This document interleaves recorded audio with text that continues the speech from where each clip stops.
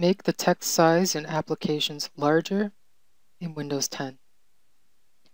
You can easily increase the size of your text in your applications without changing the actual screen resolution. Just point anywhere on your desktop, there's no icon, and right-click the right mouse button. Choose Display Settings. Use the slider bar to increase the size or decrease the size of the text inside your application. In order to see the change, you're going to need to click Apply.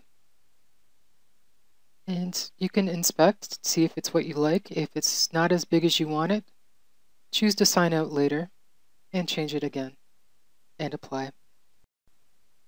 You'll notice it increases the size of the entire app window as well as the text. So you can keep signing out later and playing with the slider bar until you find the size you like. Once you've found the size you want to keep, choose sign out now, as some apps will look their best after you've signed out and back in again.